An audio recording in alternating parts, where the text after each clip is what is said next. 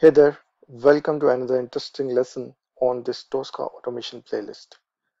Today uh, I'm going to show you how you can verify XML files using the Tosca automation modules.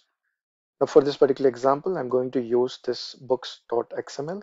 Uh, it has got uh, some information related to different books. It's a catalog of books with different um, properties like ID, author, title, genre, price, and some other information. Now we are going to use the Tosca modules to basically um, scan this XML file and also do some verification. Like if we want to verify um, whether some title of a particular book ID is as per our expected result or not okay? So that's what we are going to do and for this, I'm going to use two modules. Both are part of the XML engine. So let's create a test case here called verify XML.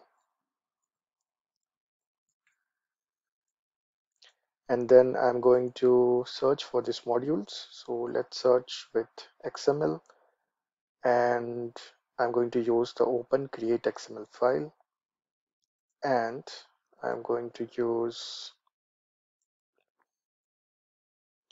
verify XML. Okay, so these are the two modules uh, which we can use. Uh, the first module is to open or it can also create a new XML file. So for this we need to give a resource. Now resource could be anything.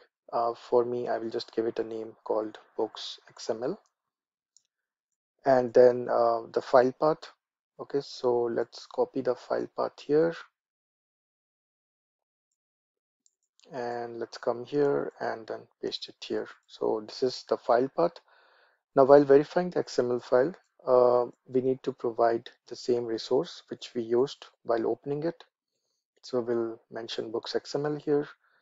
Now we need to give the XPath okay? So in an XML file if you want to access uh, any particular node you need to provide the path of that node in the XML tree okay so for example, uh, if we are looking at this XML file, okay, so if we want to traverse uh, to a certain book, okay, book ID, we need to give the path of this particular node, okay. So whatever node we are trying to access, we need to provide the path of it. So the easiest way to do this um, is either use um, some tool to generate the XPath or you can write your own XPath if you know how to write it okay? So that's what I'm going to do. Okay so to do that uh, I will first uh, go to this XML file and then I will click on right click and click on inspect. Okay so that will give me uh, kind of an XML tree okay with all the different nodes you can see here. So here um, I can then press control F and then you will see there is a find by uh, text box okay where I can write and I can also verify my XPath. Okay, so for example, I want to verify the title of this particular book, which is Microsoft.NET. So uh, in order to access this, I need to write a relative XPath. So I'll start off by writing book.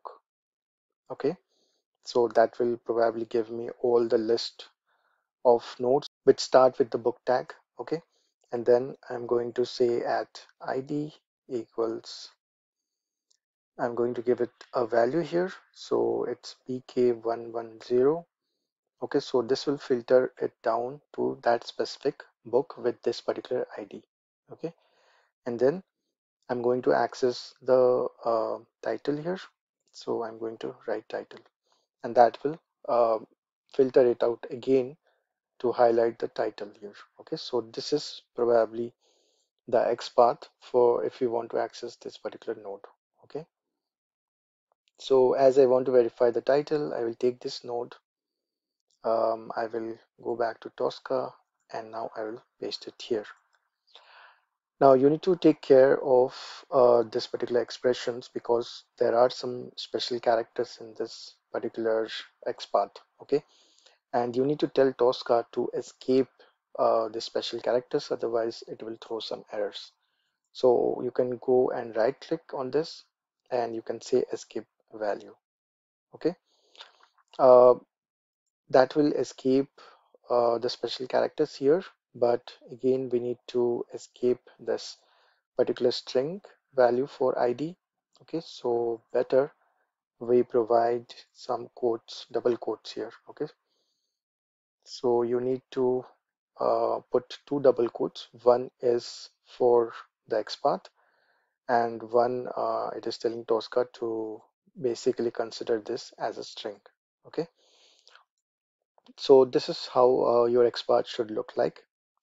And now we want to verify something in the value. Okay, so um, if you look at this value, uh, it's Microsoft.NET and then the programming Bible. Um, I don't want to write the whole text, so I can use some regular expression here. So I can write Microsoft and then I can put a star so that whatever text after that, it can just verify that. Okay. So any text which is uh, starting with Microsoft and then um, it can be anything after this. Okay. So this way I want to verify the value of that particular title. So I can do any number of verifications by giving the XPath and then the value. Okay. So let's go ahead and run this quickly.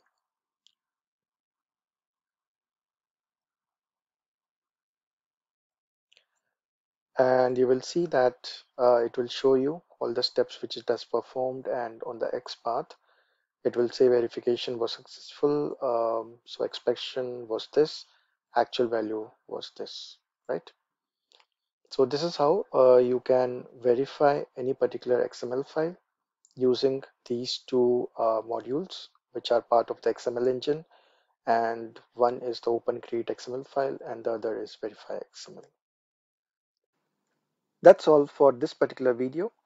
If you have any questions then please leave it in the comments. If you like this video, then please subscribe to our channel. Thanks for watching and I will see you in the next video.